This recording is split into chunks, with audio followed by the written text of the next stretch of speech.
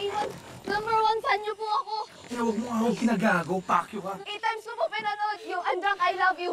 Tapos yung Goyo po, three times ko pong pinanood. Kahit three hours po yun, hindi po ako natulog.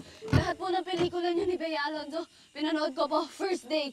Kasali po ako sa tatlong black screening. Dalawa po doon, Lazy Boy, tapos 450 pesos po yun.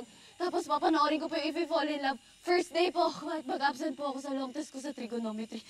Sobrang fan niyo po ako.